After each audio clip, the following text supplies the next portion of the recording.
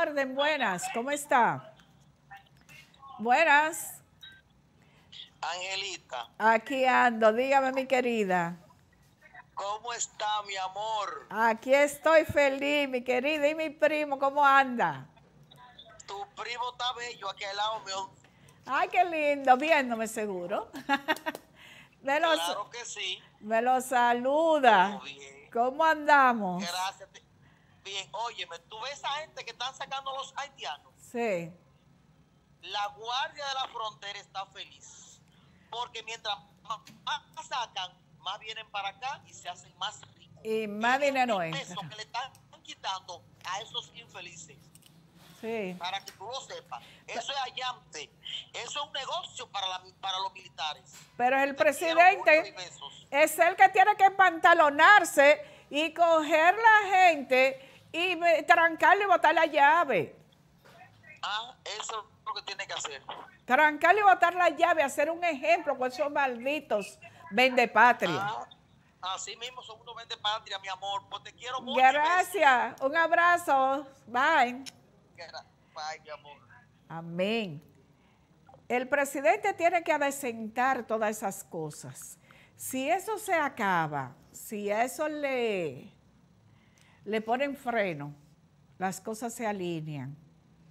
Bueno, le seguí hablando del censo porque todavía no he visto a nadie y tan criticado porque hay unos grupos de nacionalistas que dicen que el censo no es más que para legalizar, que qué sé yo qué. Yo no me voy a meter en eso, porque el censo es necesario.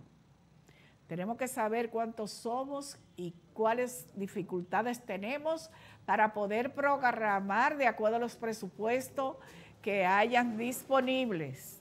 En eso estamos claros.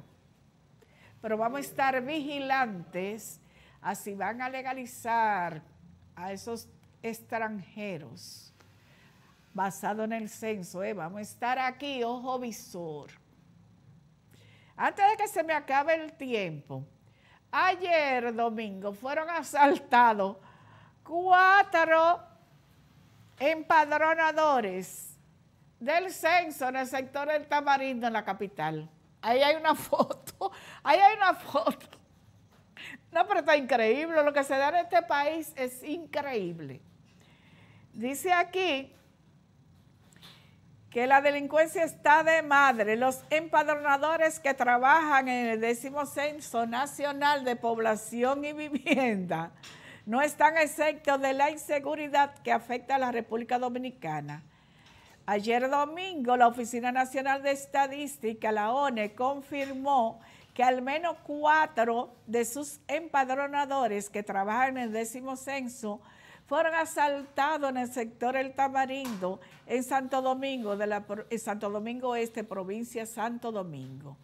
Los empadronadores fueron despojados de sus celulares personales y dineros que no le llevaron equipo del censo debido a que esos empadronadores eran parte de un equipo de 500 personas de Gran Santo Domingo que aún no tenían kit de trabajo y por otra razón solamente tenían las gorras y los carnet y el chaleco de identidad.